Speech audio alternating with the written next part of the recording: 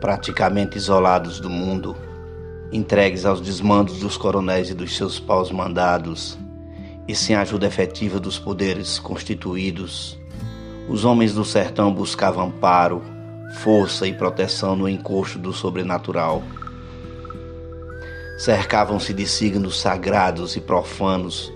como arma de defesa na sobrevivência perante a sua fraqueza humana em lidar com os poderosos da terra. Todos esses ensinamentos de religiosidade advêm de um catolicismo antigo,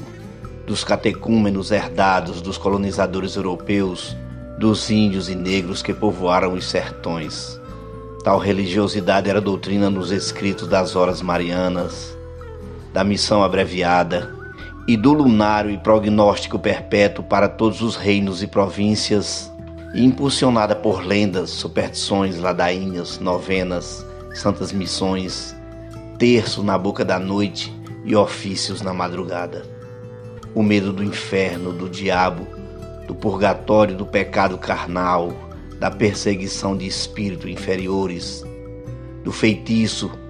criava nesses homens um combinado de crença e religiosidade pautada na fé, preceitos e regras de um sincretismo religioso repassado entre as gerações através dos tempos. A vida atribulada repleta de arroubos, crimes e assaltos causavam no homem do cangaço um alarme doentio, repleto de algouros e presságios, acreditando em tudo, porque em tudo acreditava e assim nutria a sua fé a seu modo. Nas aflições e nas horas de aperreios, o cangaceiro fazia pactos com santos de sua devoção e com espíritos protetores, assumindo os mais diversos compromissos para posteriores pagamentos das promessas alusivas aos pedidos por ele alcançados. Em um amaranhado de crucifixos e pátuas, e apoderando-se de tudo que lhes dava proteção,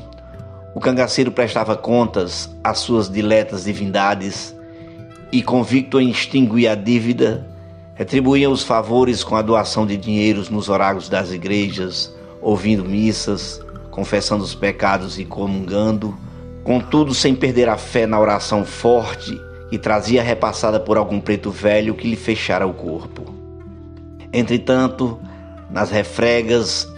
encangotados na mesma confiança dos rosários e bentinhos, utilizavam da própria fé para rogarem aos céus por uma pontaria certeira, encomendando assim a alma de algum desafeto ou integrante das volantes, abrindo o caminho do infeliz para o outro mundo. Eram as contas do rosário contribuindo com a mira da espingarda. Eram Deus e o diabo palmilhando os sertões nos rastros dos cangaceiros. Nos sertões nordestinos, para alguns crendeiros, Deus e o diabo concorreram na força e no poder de igualdade. Nas horas tidas como abertas, seis horas, meio-dia, dezoito horas e meia-noite, o capeta anda solto no mundo arrebanhando almas para seu reinado no inferno, visando amealhar súditos e coisa ruim utilizando-se de artimanhas e tentações satânicas para impressionar com seus poderes excepcionais aqueles que almejam força e imunidade contra seus inimigos no fechamento do corpo. Porém, segundo ainda se afirma por lá, o diabo dá, mas um dia cobra. Pelo sim ou pelo não, ao bocejarem, ainda fazem cruzes sobre a boca escancarada para evitar que o diabo adentre nela.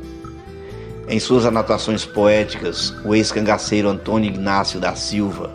vulgo Moreno,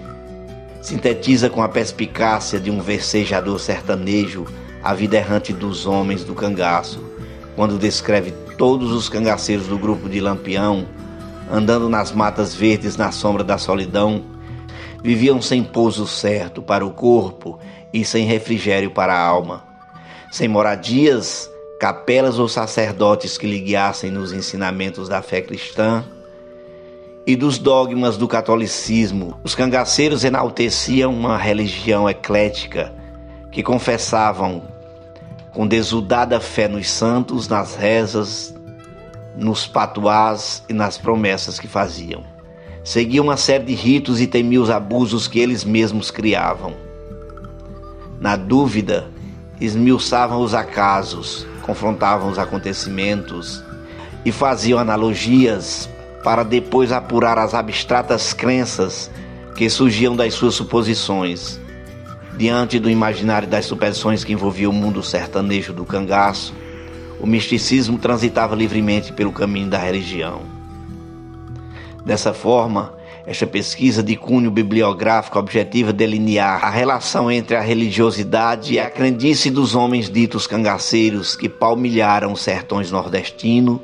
desde o século XVIII até meados do século XX, considerando José Gomes Filho Cabeleira, de 1751 a 1776, e Cristino Gomes da Silva Cleto Corisco, ou Diabo Louro, o último chefe representante do grupo de cangaceiros.